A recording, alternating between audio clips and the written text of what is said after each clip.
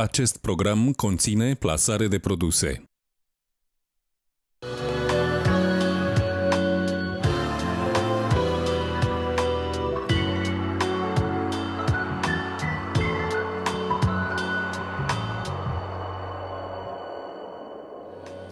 Bună ziua, doamnelor și domnilor! Sunt Lăcrămioara Pralea. Bine v-am regăsit la o nouă porție de sănătate, porție pe care vă oferim uh, cu tot dragul în fiecare zi, de luni până vineri. În prima parte a emisiunii de astăzi vom vorbi despre traumatismele ortopedice la copii când mergem cu micuțul la specialist, dar și cum acordăm corect primul uh, ajutor în caz de traumatism, aflăm uh, de la invitatul meu, domnul profesor dr. Mihai Jeanu, medic primar, ortopedie pediatrică. Bună ziua, domnule profesor! Mă bucur că v-ați făcut uh, timp să fiți uh, Vă din nou alături Vă mulțumesc de pentru invitație. Domnule profesor, în primul rând vreau să ne spuneți cât de frecvente sunt traumatismele la copii, dar și dacă sunt diferite traumatismele la copil, de Dacă au anumite particularități exact. în raport cu traumatismele adultului.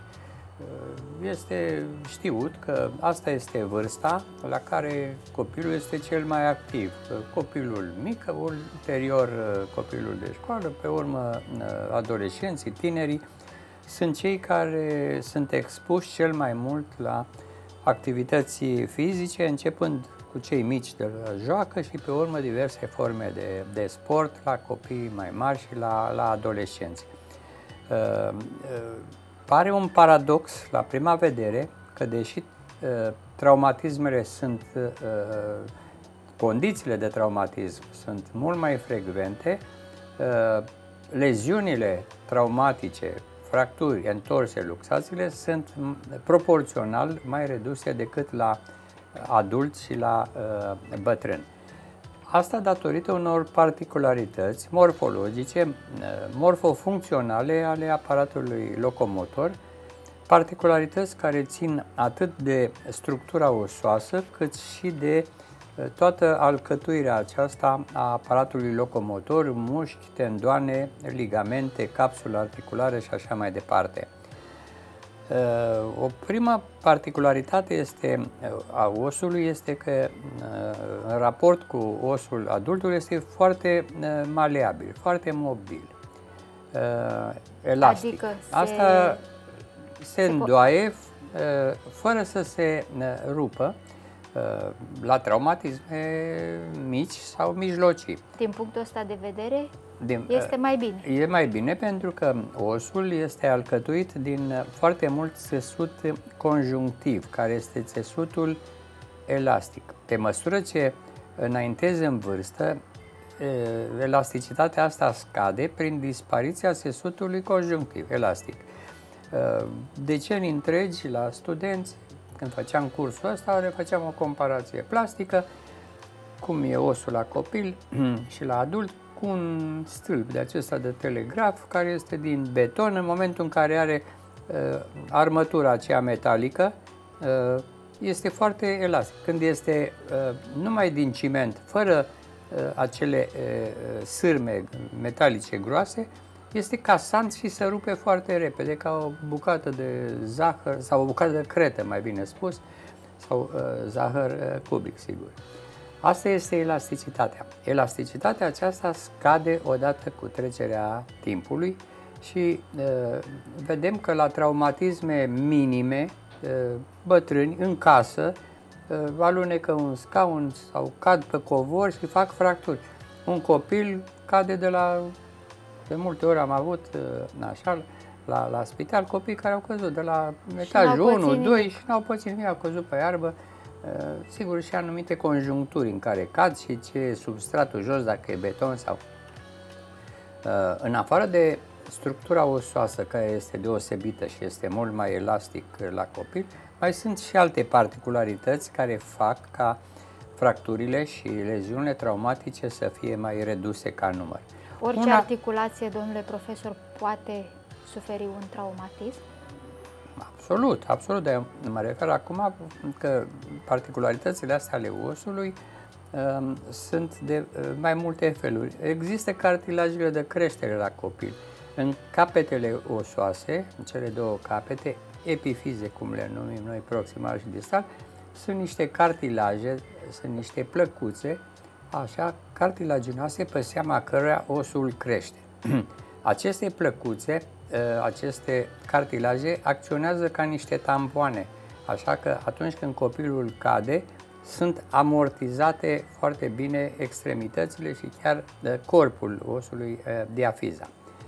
O altă particularitate este periostul mai gros. Periostul este un strat care învelește osul și care este la copil foarte gros, iar la adult aproape că nu mai, la adult, la bătrân, aproape că nu mai există. Există uh, din cauza asta și o fractură particulară la copil care nu se întâlnește la adult, numită fractură subperiostală. Osul se rupe complet în două, dar stă cap în cap că este ținut de această teacă uh, groasă de uh, periost. O altă cauză care face ca numărul de traumatisme, de fracturi să fie mai mic la copil, deși vârsta asta este specifică de alergare, de zbengueală, așa, este greutatea corporală mai mică. Una este să cadă un adult care are 100 de kilograme de la înălțime aceeași cu forța alta, să cadă un copilaș care are 20-25 de kilograme și o înălțime mai, mai mică.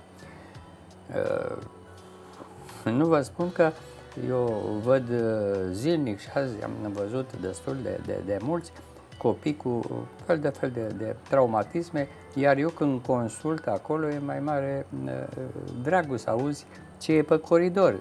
Nici la hipodrom nu e așa. Sunt copii care așteaptă să intre la, la consultație și să aleargă, țipă, să joacă. Și cu toate astea nu fac traumatisme, asta am vrut să mai specific o dată, pentru că sunt niște particularități. Uh, traumatismele astea poate să fie de mai multe uh, feluri. Uh, sunt întorse, da, care luxații cele mai și fracturi. fracturi. Întorsa este, se produce când se mărește gradul de amplitudine a mișcării unei articulații. Deci, mâna este croită să meargă până la unghiul acesta. Dacă intru în viteză, într-un uh, zid, într-un pom. Se duce mai mult, se întind ligamentele de pe fața dorsală, invers așa, o minge care îți vine în degetețile. Poate, uh, uh, poate produce aceste modificări, tumefacții la nivelul capsulei articulare, Mâna și Tinderea de ligamente, așa să vorbim mai, mai pe simplu, este această întorsă și care se uh, diferențiază de fracturi pentru o serie întreagă de caracteristici clinice. La o întorsă de gleznă, să spunem. Mâna și glezna sunt mai predispuse la Sunt mai predispuse, în special glezna. De fapt, toate articulații. Poți să faci o întorsă și de genunchi, poți să faci și de cot, dar cele mai frecvente. Calci cu piciorul într-un anumit fel, să întind ligamentele pe o parte, pe alta. Glezna se tumefiază, adică se umflă, este foarte dureroasă. Deci durerea și durerea. umflarea Ei, zonei ar așa, fi simptomele. Tumefaxia, mai sunt și alte. Este durerea la presiune, durerea la mobilizare, este echimoza, pentru că în momentul în care s-a rupt acolo, s-a întins ligamentul și s-a produs această, acest traumatism, s-a rupt și invadează imediat cu sânge articulația. E o deosebire față de, frac- de fracturi, de echimoza de la fracturi, când apare mai târziu, de s-a rupt osul, humerusul, la jumatea brațului și apare peste o zi sau două apare o echimoză la nivelul cotului, dacă stai cu mâna în jos, deci gravitațional. În întorsie, fractura apare imediat la locul respectiv. Mă refer tot timpul, acum am dat exemplu cu, cu da. glezna. Uh, întorse sunt uh, la, și la cot și peste tot întorse. În momentul în care uh, gradul de, de amplitudine se mărește foarte mult, scoate uh, oasele din contactul lor și rup capsula articulară și atunci se produce luxația. Luxația este pierderea contactului dintre două oase. Asta este luxația. La întorsă se produce o modificare a lor, dar pe urmă își revin la loc, dar uh, uh, e pe seama uh, ligamentelor, pe seama aparatului acesta musculo-ligamentar. Da, e întorsa, domnule profesor, trece de la sine? Sau nu, când normal. ar trebui să adreseze Păi în momentul în părintele care, în momentul în care s-a produs un accident de acesta, iar vorbesc de glezna, așa, ca să nu vorbim în general, vii la o clinică, vii la un spital ca să vezi despre ce e vorba, că foarte bine s-ar putea să fie o fractură. Nu poți să-ți dai, pentru că durerea de multe ori este la fel de mare sau chiar mai mare decât într-o fractură. Că sunt fracturi care nu interesează tot osul, sunt fracturi în lemn verde, sunt fracturi care nu dor așa de mult ca o întorsă. Da, deci ca și... mergi la, o, la, specialist. La, un, la un specialist, la un medic, la o cameră de gardă unde te duci, acolo vede care este treaba uh, din punct de vedere clinic, uh, însoțește și de o radiografie, că radiografia poate să arate și leziuni uh, de fractură mici sau mai mari și atunci o tratezi altfel și este necesar să o imobilizezi și în funcție de cât este de, de, de mare, de amploarea ei, o ții mai mult sau mai puțin într-un aparat gipsat ca să se detumefieze și să, să refacă acolo tot, tot ce s-a deplasat da. odată cu fractura. Ca și prima ajutor, domnule profesor, ce ar trebui să facă părintele până ajunge cu micuțul la uh, spital? Bine. Uh, micuțul simte durere, plânge, cumva se Sigur, pot să-l uh, imobilizeze, să-l imobilizeze cât, de, cât de cât, adică să nu-l, să nu-l forțeze să pună piciorul, să nu-l forțeze să pună uh, piciorul jos, așa să le ia în brațe dacă e mai mic sau să-l ajute o compresă rece, rece, rece, e binevenit, adică nu, nu, nu face rău, uh, dar primul ajutor din partea părintelui asta este uh, să-l ducă la, la, o, la un spital, la un specialist care să vadă dacă e torsă, dacă e fractură și să-l trateze ca... Uh, dacă cumva traumatismul este și mai mare, atunci se poate produce fractură fractura osului, care uh, pierderea continuității în cele mai multe cazuri. La copil, datorită particularităților care le-am spus anterior, că este mai elastic, care periostul gros, care cartilajele de creștere uh, și multe altele, uh, fracturile au și ele ceva deosebit față de fracturile la adult și uh, o serie de fracturi de la copil nu le întâlnim la uh, adult. Sunt banalele fracturi în lemn verde. Osul Care devine foarte uh, flexibil uh, și se rupe doar pe convexitate. Este ca o nuielușe care o îndoi foarte mult, rămâne uh, partea concavă uh, integră, dar se rupe sus, pognește. Este fractura în lemn verde, care este cea mai simplă și se rezolvă de la sine, în fine, nu de părinte, merge undeva uh, la, la medic și acolo se poate face uh, prin metode ortopedice simple, uh, fără anestezie, fără altceva, dacă fractura este proaspătă. Un alt tip de fractură care este foarte întâlnit la copil este fractura prin tasare, adică zona respectivă suferă un traumatism, se lovește cu ceva, osul nu se rupe, dar în schimb se intrică uh, substanța una între alta. Uh, eu mereu compar cu uh, o bucată de unt de asta care îi dai cu pumnul în el și care uh, se uh, intră, uh, cum să spun, uh, se deformează dar nu se rupe nimic. Asta este fractura Ca prin o masă tasare. gelatinoasă? Nu masă gelatinoasă, că este vorba de os.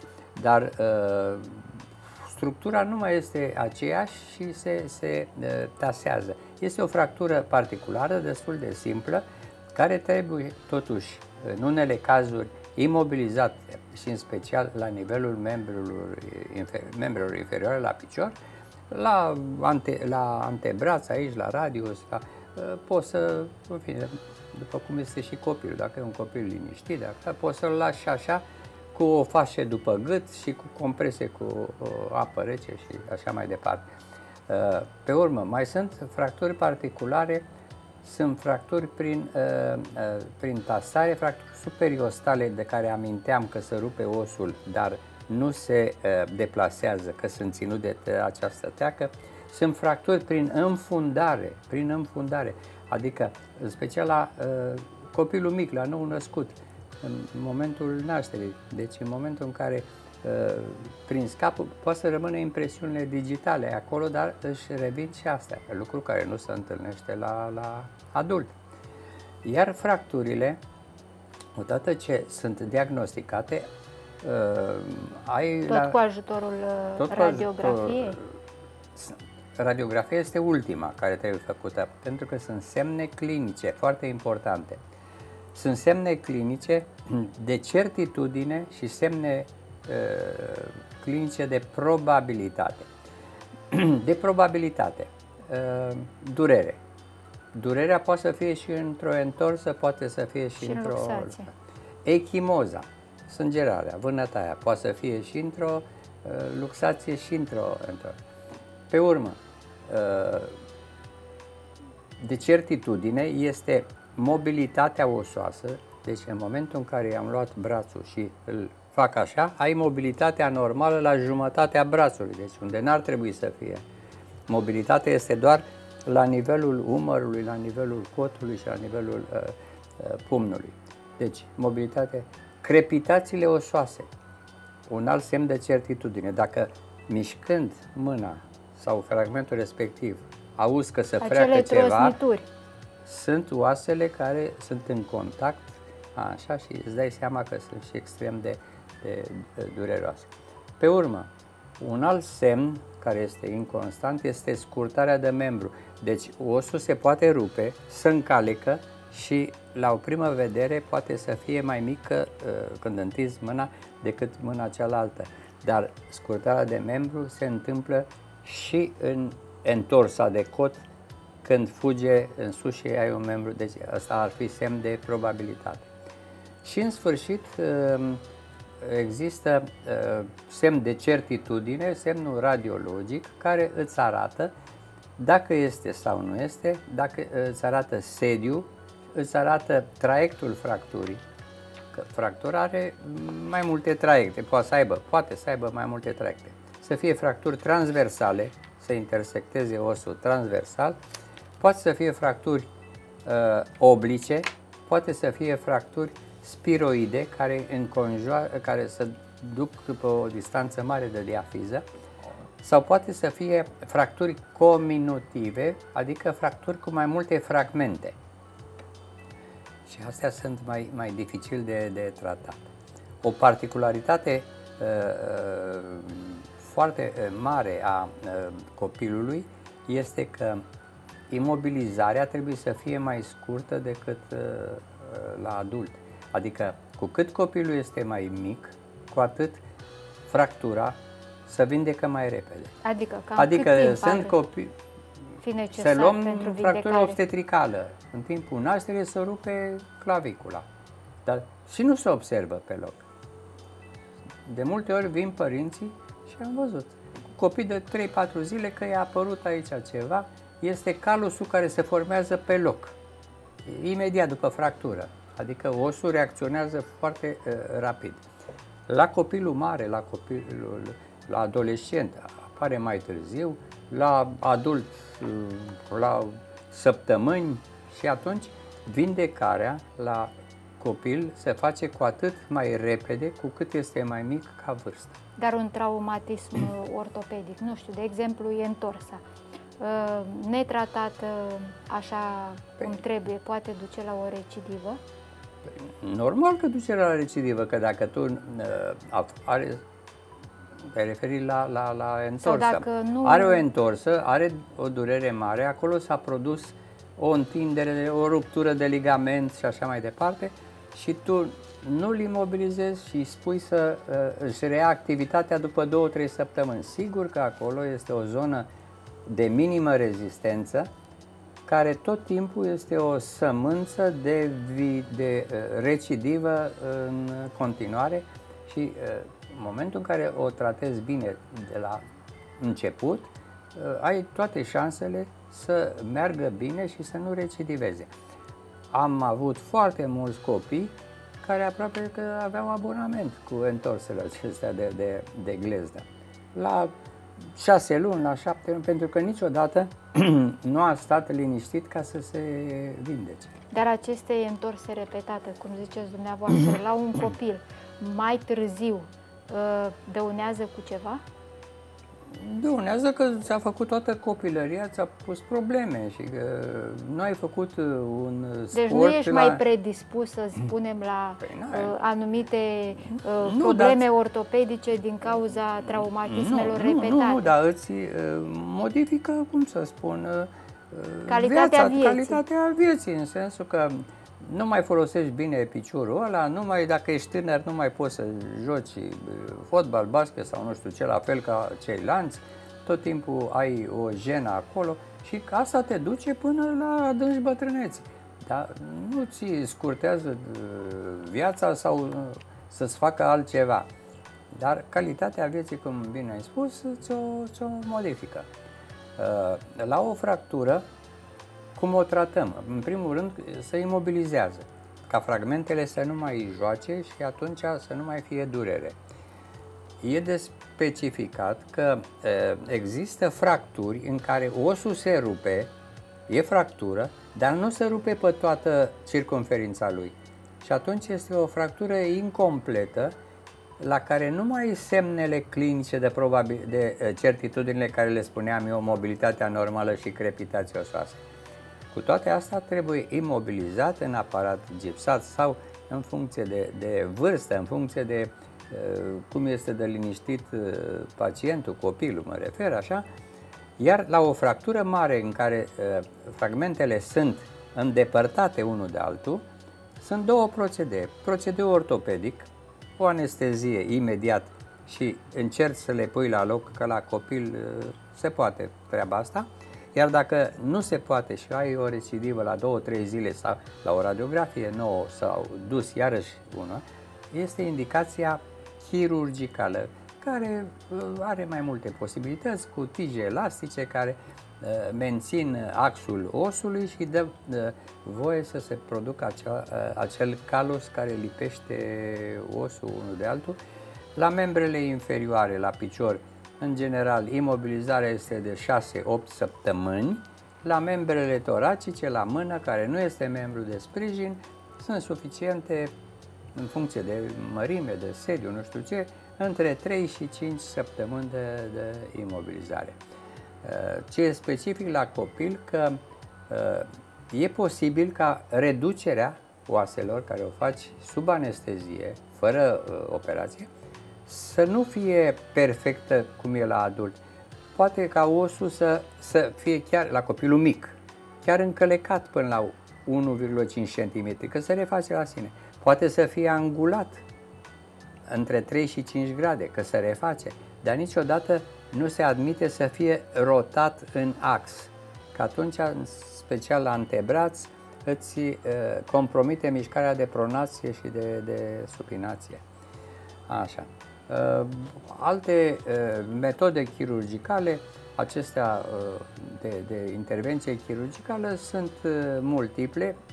E bine să nu ajungem la intervenție chirurgicală, dacă se poate ortopedic, și specific la copil, în momentul în care trebuie operat, să fie cât mai puțin material Așa că la adulți pe un os vezi adevărat ferometal acolo. Așa trebuie, așa trebuie, trebuie să prinzi că ce nu uh, prins tu bine, nu uh, repară cel de sus, adică la copil se reface foarte bine uh, structura osoasă, calusul, lipiciul acela este foarte uh, eficace și rar, rar se întâlnește la copil pseudoartroză. Pseudoartroză adică oasele, deși sunt prinse bine, nu se lipesc niciodată.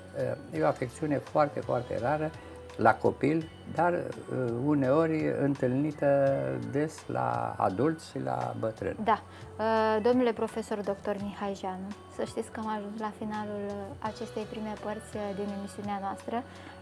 Vă mulțumesc că v-ați făcut timp să fiți astăzi alături de noi și să știți că vă reaștept cât mai curând posibil aici la Sănătate înainte de toate. Vă mulțumesc! Dragilor, acum luăm o mică pauză de publicitate, dar să nu plecați în 2-3 minuțele, revenim cu un alt invitat. Publicitate și revenim.